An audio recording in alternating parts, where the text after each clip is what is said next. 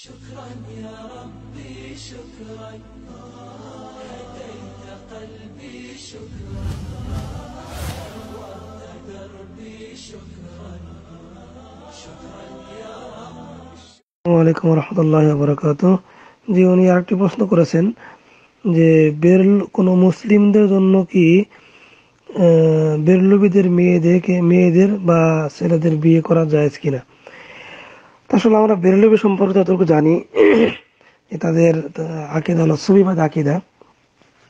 এই ক্ষেত্রে কথা হলো, যদি মেয়ে বিয়ে দেওয়ার ক্ষেত্রে হয়, তাহলে আমার মেয়ে বিয়ে দেওয়ার, যদি তাদের সাথে আমার মেয়েকে বিয়ে দিই এবং বিয়ে দেওয়াতে আমার মেয়ের আকিদা যদি তাদের আকিদার মতো হয়ে যাওয়ার সম্ভাবনা থাকে, তাহলে অবশ্যই এখান থেকে আমাদের বিরত থাকতে হবে।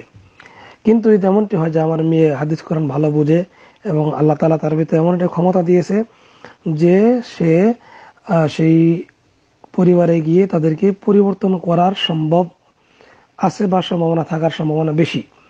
সেক্ষেত্রে আমরা দেওয়ার চেষ্টা করতে পারি, তবে বিরত থাকে উত্তম হবে। আর বেরলবি পরিবারের মেয়ে বিয়ে করা, এটা অবশ্যই জায়েজ, এটা সমস্যা নেই।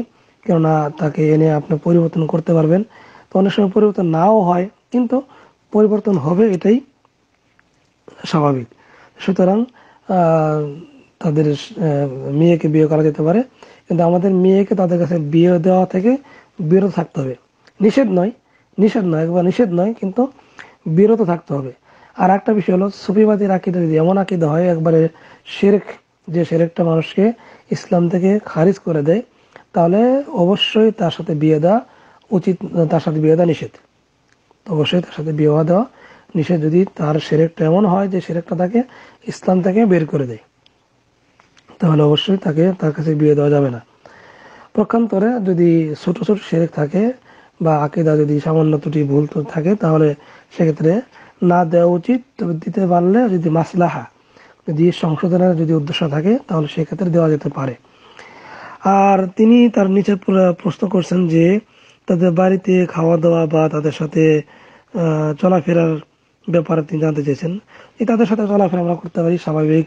চলাফেরা করতে পারি এবং তাদের খাবার দাবার খেতে পারি, আমরা তাদেরকে খাবার দাবার খেতে পারি। তবে এই ক্ষেত্রে কথা হলো, তাদের খাবার খাওয়ার ক্ষেত্রে আমাদের সতর্ক, সতর্কতা অবলম্বন করতে হবে এইভাবে যে তারা যে গুস্ত বা যে জিনিস জবাই করেছে সেটা কি কোনো পীর, আউলিয়া বা কোনো মাজারের উদ্দেশ্যে জবাই করা হয়েছে কিনা, এটা সতর্কতা অবলম্বন করে খাওয়া যেতে পারে।